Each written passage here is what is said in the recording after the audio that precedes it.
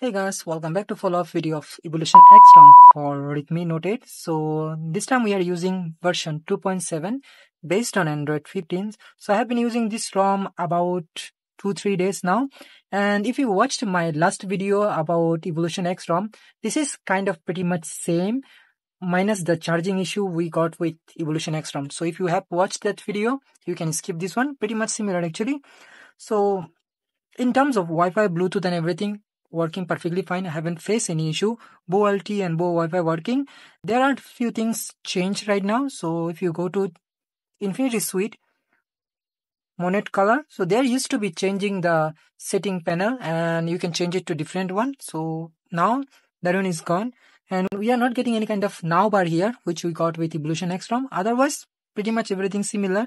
We can change, we can customize up to our liking and the notification panel also you can customize. So i have customized mine as you can see here.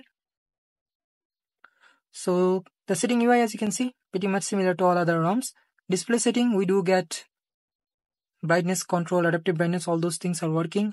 Double tap to sleep double tap to awake all those things are working. So as you can see here no issue. Wallpaper and style we don't really get any kind of ai wallpaper with this rom. So as you can see here we do get a single wallpaper as you can see here, but you can use your own. And in the more lock screen option, we do have privacy, add user from lock and few the other things. And also I got always show date and time info. So AOD. So if you turn it on, as you can see, you can AOD is not much useful for this device as it's got IPS display and it's going to consume a lot of battery nothing much there. Notification is working well. Nothing new. Battery option. So we do get few options here as you can see. Fast charging option is also available but i did try that. Fast charging is still not working. It only charges at 10 watt so no fast charging. But the battery backup is pretty good. Uh, no drain issue at all no heating issue. And also there is no issue with charging. Storage sound and vibration no issue as you can see here working well. PowerApp volume control is available dolby atmos is available so everything is working here. Mode section is also included here so as you can see. Security and privacy. We do get both face and fingerprint unlock and both of them work well. So if i show you fingerprint so as you can see here each and every time works. But the face unlock is a little bit slower side location is working no issue and that's all what we are getting. The system setting we do get few things here as you can see here. Xiaomi parts option is also available.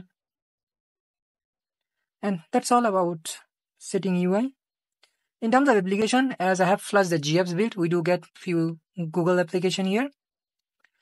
So circle to search is working no issue. So as you can see here we can search. A little bit laggy but works well. So as you can see in terms of camera, we do get MIUI camera here. So MIUI camera is working. No issue. And Gcam is also working perfectly fine. One thing I have missed is that we do get sidebar. So as you can see here, sidebar you can use. You can keep your shortcuts and it is working perfectly fine. No issue with that. In terms of Google Photos, we do get Google Photos unlimited storage. So as you can see, unlimited storage is available. And unfortunately on this ROM also the magic editor is not working. So if you try that edit and magic editor try now. And if we circle it crashed.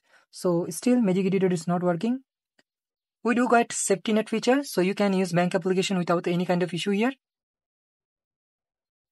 So as you can see here device is certified so you're not going to have any issue with app compatibility. So everything works well.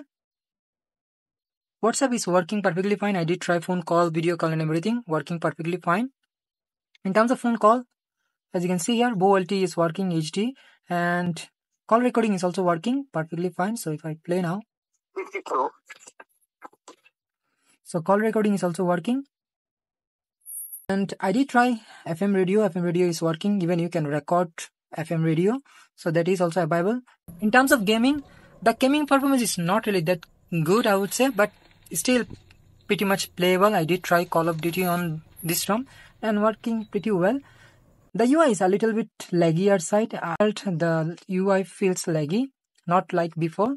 It could be because Android 15 is a little bit heavier so it feels laggy so as you can see. But overall the ROM is usable. You can use this ROM as a daily drive.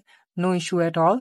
No major issue. You might find few minor issues here and there but as far as my uses i haven't faced any issue at all. It's working perfectly fine. So if you want to use this rom i will put the rom link in the description below. That's all about it.